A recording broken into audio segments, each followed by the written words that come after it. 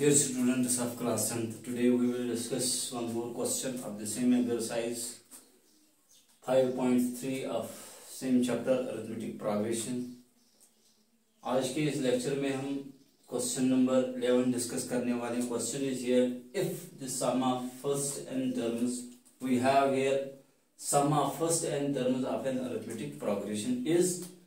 4n minus n square n terms का sum हमारे पास गिवन है that is four n minus n square what is the first term हमें first term पहले देखनी है फ़र्स्ट टर्म कौन सी है इसमें? What is the sum of first two terms second part है क्वेश्चन का. Sum of first two terms भी देखना है हमें.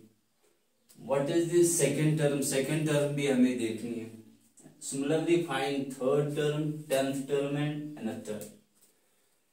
इसमें इस क्वेश्चन में बहुत सारे पार्ट्स हैं, उनको हम एक एक करके सबको सिंपलीफाई कर लेंगे। We have here given we have sum of first and terms of arithmetic progression is four n minus n square we have S n is equal to four n minus n square first part of this question is what is the sum of first term first term का sum है एक ही term that is S one taking N is equal to one we get S one it is equal to four into one minus one square which is equal to 4 minus 1 which is equal to 3 therefore sum of first term is 3 that is sum of first term is simply it is the first term of the given arithmetic progression that is a is equal to s1 which is equal to 3 we have here first term of the arithmetic progression is 3 now we have the second part of this question is what is the second term second term हमें देखना है second term कौन सा उसके लिए हम sum of two term पहले देख लेंगे now s2 is equal to s2 हमारे पास होगा clearly substitute here n is equal to 2 we get here 4 into 2 minus 2 square what is this it becomes here 4 into 2 that is 8 minus 2 square is 4 clearly we get here 4 sum of first two terms is 4 and sum of first term is 3 this implies second term that is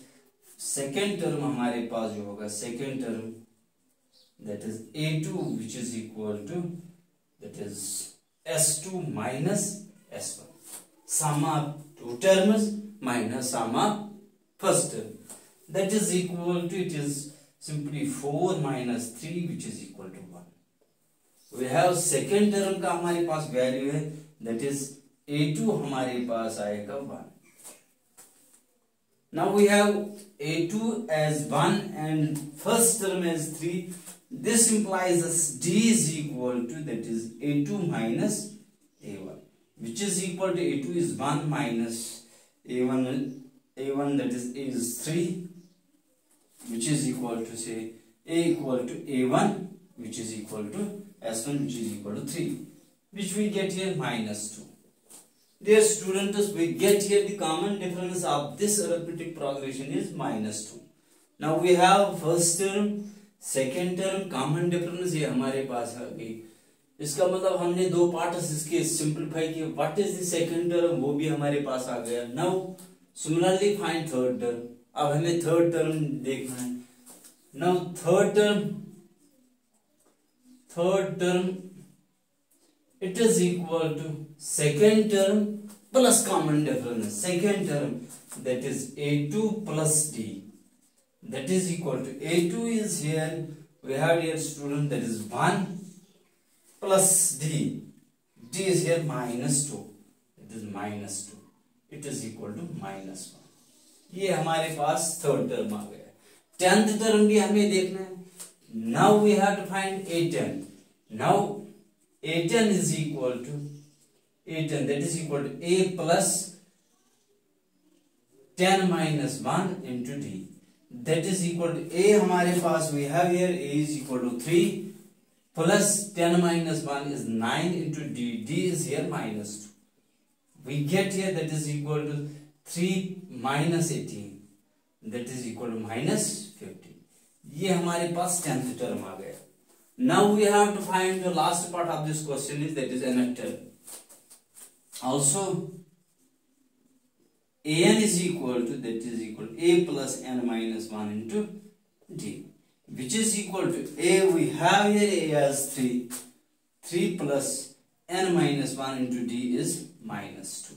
we have d is common difference is minus 2 we get here that is 3 plus this into this that becomes minus 2n minus minus plus 2 we get that is equal to ये add होगा that is 5 minus 2n this becomes the nth term of this given arithmetic progression इस तरह इस question का solution complete होगा dear students इससे पहले video एकदम पजीर कर लें सब्सक्राइब माई चैनल ताकि आने वाली हर नेक्स्ट वीडियो आप तक सबसे पहले पहुँचे और वीडियो शेयर कर लेना ताकि दूसरे बच्चे भी इनसे इस्तेफादा हासिल कर सके। Thank you have a nice day